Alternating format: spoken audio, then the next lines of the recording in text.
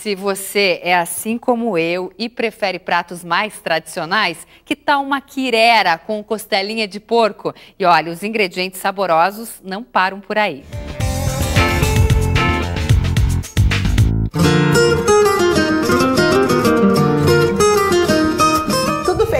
Milho, a base de milho é muito gostoso. E aqui o nosso prato é tradicional mineiro, quirera ou canjiquinha com costelinha de porco, a receita é barata, 15 reais, serve seis pessoas. E a Márcia está aqui com a gente. Márcia, por que, que você escolheu esse prato para nós?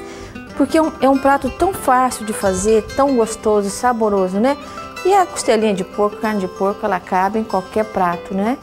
Anota aí o que vai nessa delícia. 500 gramas de quirera de milho, 1 quilo de costelinha de porco, sal, pimenta do reino, dois tomates picados, um maço de cebolinha, um maço de salsinha, óleo, um maço de couve, uma cebola picada, dois dentes de alho picados. Estamos aqui à beira do fogão. Márcia, explica para nós, 20 minutinhos na pressão, qual é o ponto que tem que ficar tanto a costelinha quanto a quirera? Ó, a quirerinha, ela já tá cozida, ó.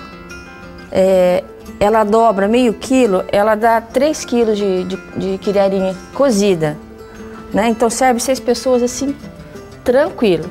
E a costelinha, 20 minutinhos, já está desmanchando já. Até o ossinho fica mole. Tem que ficar com essa aparência. Com então. essa aparência, né? Na panela, começamos pelo óleo. Depois vai a costelinha que recebeu um pouco de sal no cozimento. Deixa a carne no fogo um tempinho e aí é a vez de pôr o alho e a cebola.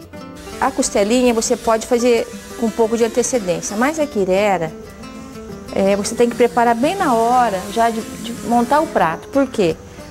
é, ela absorve muita água e ela pode ficar dura e formar aqueles grumos, né? Aí não fica um prato legal. Para dar aquele colorido, tomate. Está indo para o final, né, Márcia? Já estamos na reta final. O que, que falta? Agora só falta a gente colocar o cheiro verde. Para falar assim, ah, mas é muito cheiro verde. Não é. Ele dá um sabor todo especial. O sal e a pimenta do reino nós vamos pôr por último. Porque como nós já cozinhamos a costelinha com um pouquinho de sal, a gente vai, vai melhorando agora o tempero, tá? E a couve também é a agora? Couve, a couve já é, é agora. A couve a gente não põe muito, porque tem gente que prefere a couve na hora de se servir. Agora é só se ferver uns 5 minutinhos, 10 minutinhos e tá pronta a nossa quireirinha.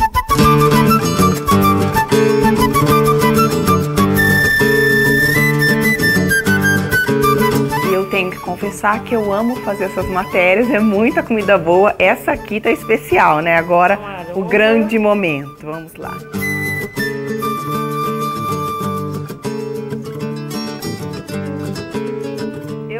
Para almoçar aqui hoje, gente. Muito bom, muito saboroso. Você vai comer também, né, comigo?